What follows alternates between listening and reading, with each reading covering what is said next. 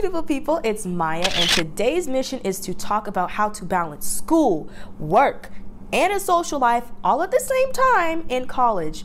Trust me, if you're a busy person like me that is doing too much, it can definitely be a challenge, but I want to share with you guys the things that I have learned and the things that I put in place in order to fix my time management.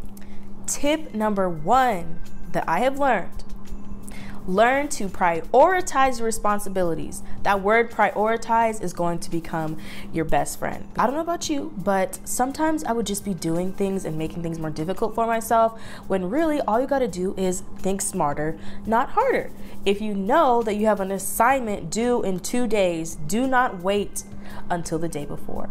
Do the things that are more time sensitive do not make it harder on yourself. Do the things that are more time sensitive first, then go on to the other things, whether we're talking about homework, whether we're talking about having to decipher between if you should hang out with your friends or if you should finish your paper that's going to be in two days and you know you're not going to get to that paper on the weekend. Prioritize what is more important, what is going to make you feel better, what is going to keep you less stressed, what is going to prevent you from procrastinating. Do not take on more than what is needed. I joined six clubs this semester while working part time, while taking five classes. And I'm not here to complain about things that I signed up for. It's just I really thought I could take on all this at once. And I did. I learned to do that, but it took a little bit of time to get there. So I highly encourage you to prioritize, you know, your mental health and not doing more than you should and prioritize your schoolwork instead of joining too many clubs or just involving yourself in a lot of things that you could just do another time, you could do next semester or you know, take fewer classes, whatever you got to do, prioritize your responsibilities, do what is going to make the most sense, and think smarter, not harder. Tip number two it's pretty obvious use tools that are going to help you organize yourself. I could give you a whole speech on planners and calendars and how they have helped me and to do lists, and I've mentioned them in previous videos, but I'm here to say it again. Stay organized and have a planner write down your due dates for your homework assignments, write down meeting times or different events that you have, write everything down. Even write down, you know, the times that you need to hang out with your friends or the times that you need to do stuff for yourself. Write everything down just so you can see it because if someone asks, "Hey, do you want to hang out?" you should be able to tell them yes or no because you should be able to look on your schedule Look on your piece of paper, look on your planner, look on your to do list, look in your Google Calendar or your iPhone calendar, and you should be able to give them an answer and say, okay, let me check my schedule. And you can tell them if you're available or not because you are just that organized, okay? You are just that organized. So you can make time or you can tell them that you're not available and give them another time. Literally, that's how you have to think about it. Like, I know at least for me, if I don't write things down or if I don't document it in my phone, I'm not going to remember. And there were definitely times where I ran into things like I was going to hang out with my friends, but then I looked at my phone and I was like, wait a minute, I have a Zoom meeting. I can't hang out with you guys. Wait a minute, I have an event to do. I can hang out with you guys. I like to plan month by month. It's so important to schedule and structure your day. You just have to find the right system for you. When it comes to homework and stuff, a new thing that I've been trying, well, I used to do it and then I kind of stopped, but I got back into literally setting alarms on my phone so that I know when I want to finish something at a certain time, I'm going to be reminded and I'm more motivated to get it done at a certain time. If I'm like, okay, I need to finish this homework assignment by 3 p.m., I'm going to set an alarm when it hits 3 p.m. I hope that I got that work done. It definitely helps me stay on track instead of just looking around and trying to do everything at once, one task at a time, time myself, do as much as I can, take breaks and get back to it. And please do not take extremely long breaks like me. If I stop and take a break that is longer than, let's say, 30 minutes, I'm probably not going to get back to that until a couple hours later, maybe even the next day. So I like to make sure my breaks are like 20 minutes to 30 minutes and that's pretty much that. Unless I know I'm just not gonna get back to that assignment. Tip number three, when it comes to social life, organize, and communicate. As a busy person, I understand clubs, schoolwork, the things you're involved in, your academics, they're very important. But you do not want to miss fundamental memories with your friends or socializing or even just leaving your room to be around people. It is so important. Humans are social creatures, whether you're an introvert or an extrovert everybody needs at least a little bit of social time because I know locking yourself in your room to get all your homework done and thinking that that is the most important thing in the world is definitely going to catch up to you.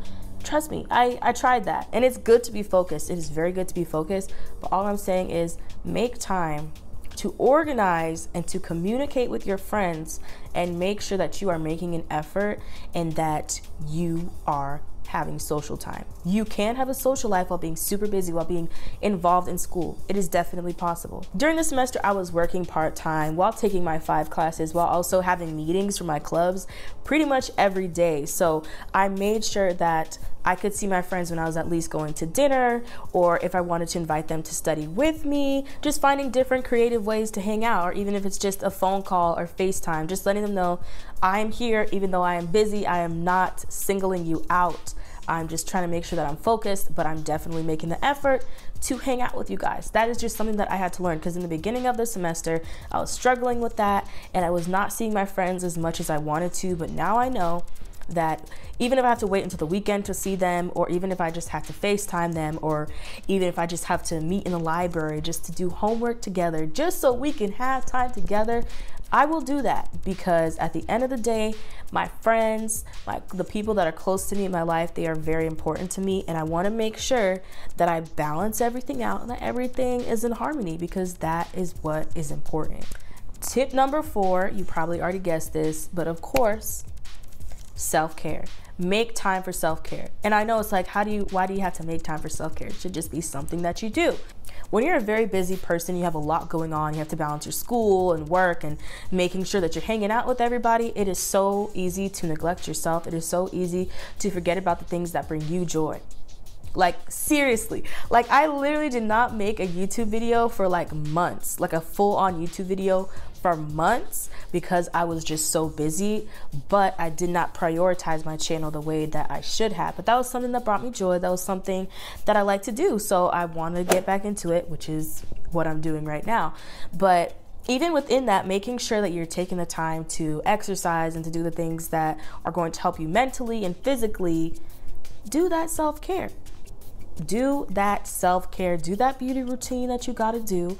Make sure that you have a day. Like I like to do everything on Sundays journaling, reading, listening to things that are going to inspire me for the week, washing my hair, doing all that stuff, getting ready for the week. I love to do it on Sundays to get my week started right, but you got to figure out what's going to work within your schedule where you can balance, you know, your time with your friends, with your family while getting your work done, but also coming back to yourself. I feel like every single video I do, it always comes back to making sure that you're doing your creative outlets, doing the things that make you happy, doing the stuff that's going to help you with your mental health. That is just, I'm just such a big advocate on that because I know what it's like to neglect yourself because you are just trying to do everything. One step at a time, take a deep breath. Take a deep breath. You don't have to do everything at once. You don't need to master everything. One thing at a time and you will balance it. You will harmonize everything. I feel like balance isn't even the word, it's harmony. You want everything to be in harmony. You want to be able to take care of yourself, be around the people you love, get your work done, take care of the responsibilities that you have. And it's like, this is what I learned last semester. Slow down. Slow down. You don't have to be everywhere at once. You don't have to do everything at once. Slow down. You're gonna make it through the semester, and the other semester, and the other semester, you are going to get through it. Trust me. I thought just because, you know, I would have hybrid classes and things would be online that it would be easier. Turns out some of some of the responsibilities I had became harder. So, no matter what is thrown at you, slow down, please. Slow down. You're going to figure it out. It's going to be okay. Okay, it's gonna be more than okay. With that being said, we have reached the end of this video. Thank you so much for watching this, and I hope that this was helpful to you. If it was helpful to you, be sure to subscribe, be sure to like this, and just thank you for supporting my channel. Bye.